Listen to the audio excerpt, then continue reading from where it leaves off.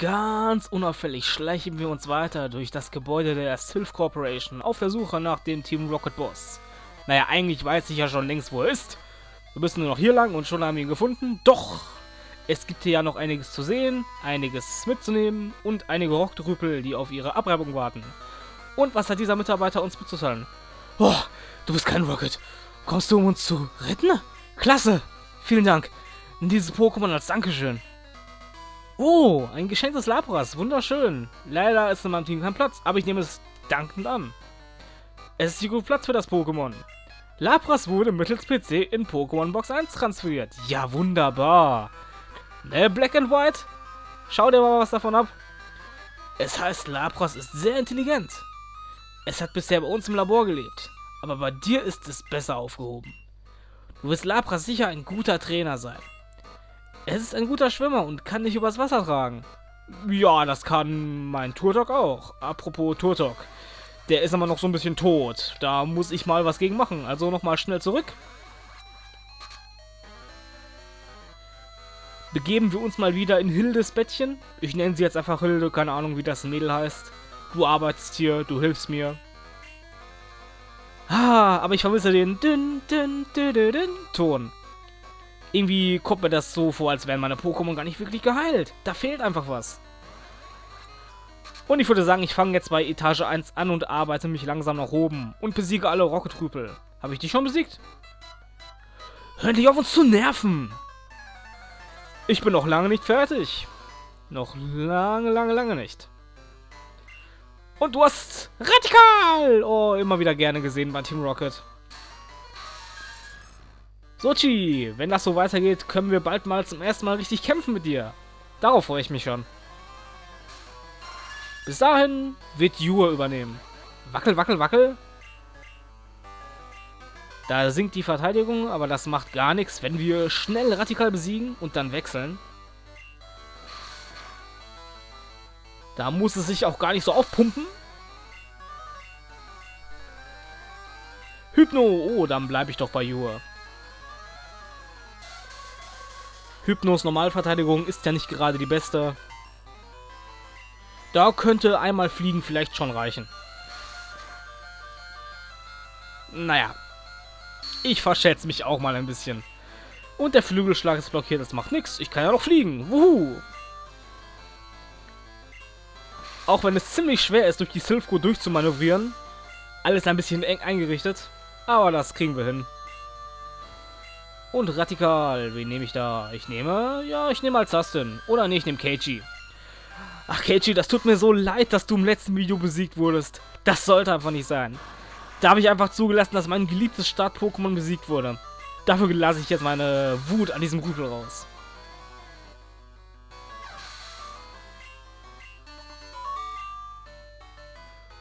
Oh, ich gebe auf! Bitte, tu mir nicht weh.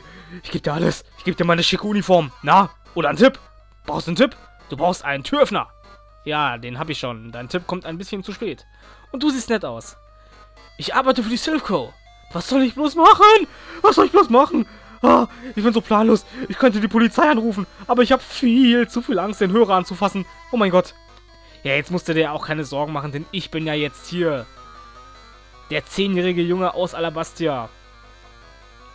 Und wo geht's da lang? Ich will es gar nicht wissen. Ich muss die Teleporter eigentlich gar nicht benutzen. Es gibt nur einen Teleporter, der wirklich wichtig für mich ist. Und das ist der, der zum Team Rocket Boss und zum Chef der Silphco führt.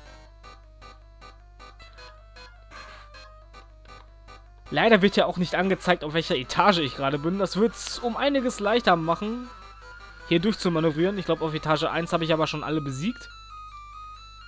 Wenn ich mich richtig erinnere. Wart nur ihr drei hier? Oder war hier hinten noch jemand, den ich übersehen habe? Oh, das sind verschlossene Türen. Und ich wette, du bist böse. Du hast dich dem Team Rocket angeschlossen. Hilfe! Ich bin der Mitarbeiter der Silphco. Ja, von wegen. Und warum greifst du mich dann hinterrücks an? Da zieht er noch eine riesen Show ab, der Typ. Mein Gott. Slimer. Ich finde es ja widerlich, dass manche Leute einfach ihre eigenen Fäkalien als Pokémon einsetzen. Das muss doch wirklich nicht sein. Zassin, kümmere dich darum.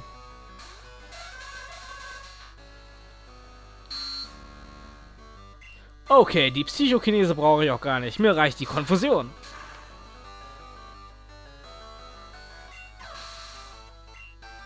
Und Chi steigt auf. Und was lernen wir auf Level 20? Na, na, na. Mega Hieb. Er ist mega. Und ein Hieb.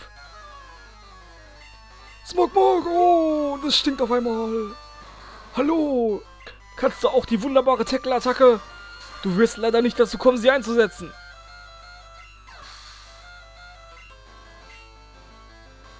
Und nochmal Smogon. Warum hast du Smogon nicht zuerst eingesetzt? Sollte man sich seine stärksten Pokémon nicht mehr so für das Ende des Kampfes aufheben?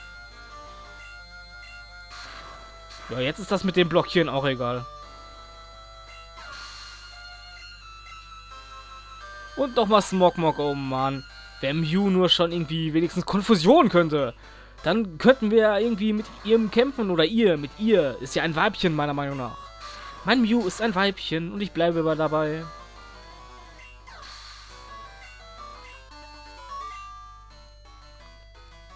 Äh, wo, woher wusstest du, dass ich zum Team Rocket gehöre? Nun, du hast mich angegriffen. Wie wär's damit? Ich bin ein Spion und infiltriere die Silphco. Oh Mann, immer diese ganzen Spione. Und alle sehen sie gleich aus. Brillenträger mit Kittel. Bingo! Eine weitere Tür geht auf. Und wer versteckt sich denn da in der Ecke? Zur Hilfe! Nein! Bitte nicht! Reiß mir nicht die Klamotten weg! Oh, Moment! Du bist gar nicht von Team Rocket. Ich dachte schon, es ginge zu Ende. Nimm das hier. Oh, cool, eine TM. Was haben wir denn da Schönes? Ist es etwas Gutes, was ich Mew beibringen kann? Was eigentlich der macht sein Konter.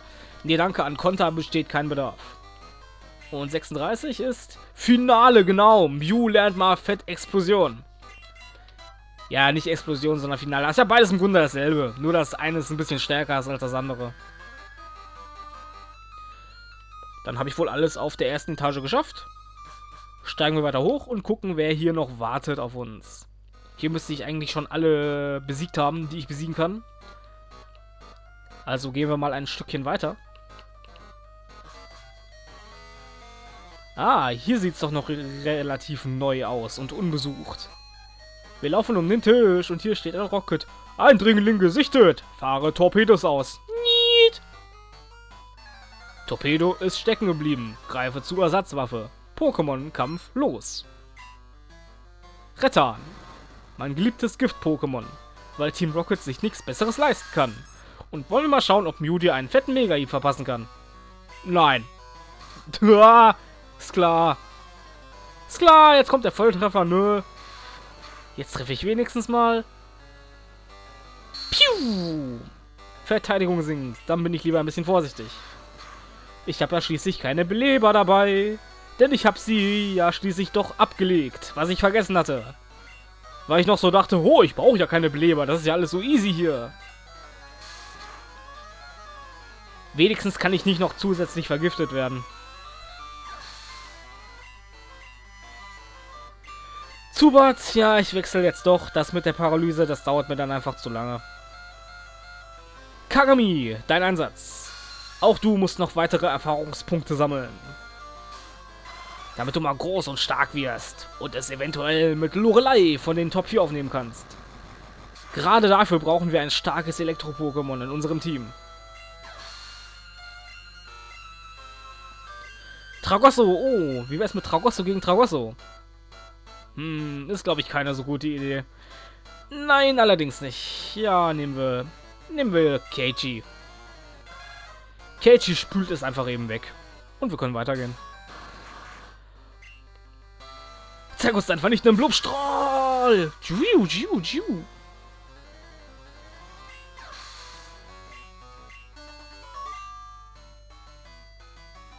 Wer oder was bist du?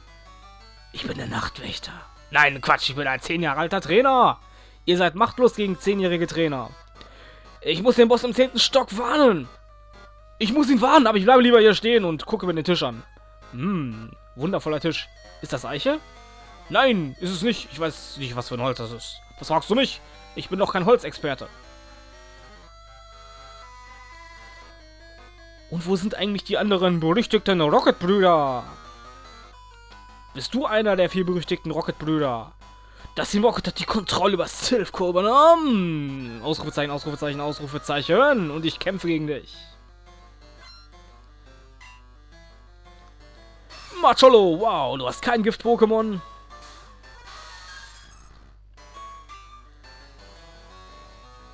Äh, ja, Kagami. Ich bekomme irgendwie keine günstige Situation, um Yuki zu trainieren. Das muss ich dann nochmal irgendwo anders machen, wo die Pokémon nicht ganz so stark sind.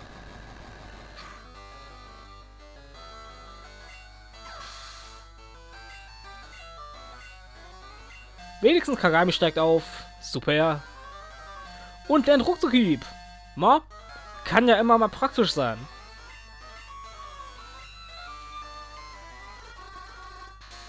Äh, äh, und Traumatus natürlich auch kein Problem. Rums, rums, rums, da kommt der Donnerblitz. Jetzt blockiere bitte nicht meinen Donnerblitz. Okay, es war der Ruckzuckhieb. Wie gut, dass ich gerade den Ruckzuckhieb erlernt habe. Vielleicht wäre stattdessen sonst mein Donnerblitz paralysiert gewesen. Was heißt paralysiert? Ausgesetzt, blockiert, whatever.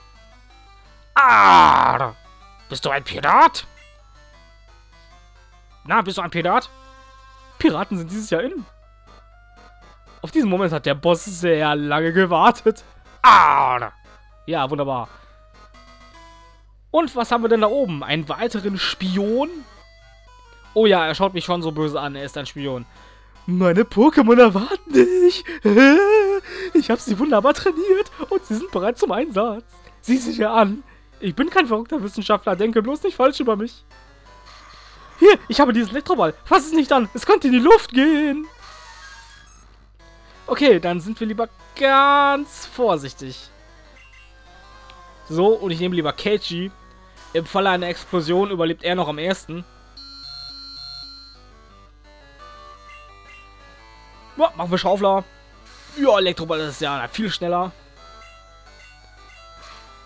Und jetzt explodiere. Schade, das wäre so cool gewesen.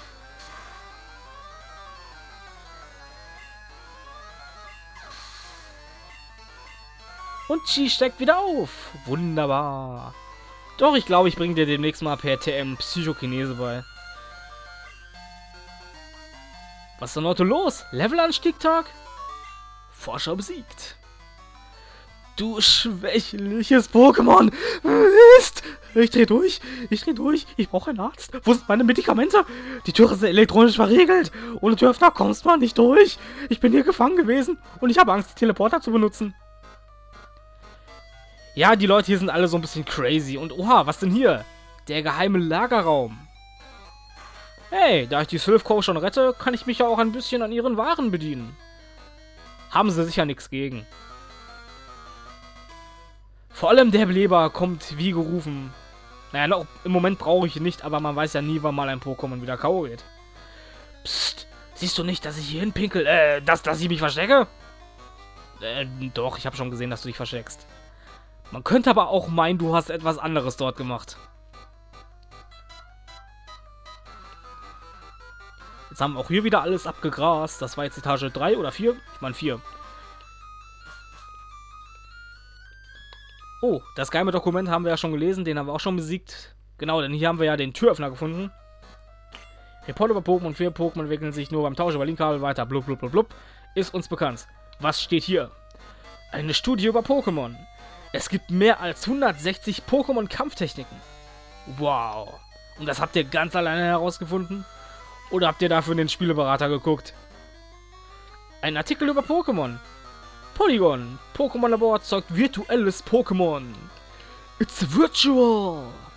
Was? Wer hat denn das Kind reingelassen? Und was machst du hier? Warum ist hier ein Jongleur? Ich check's nicht. Arbeiten die zur Belustigung der Mitarbeiter hier oder warum?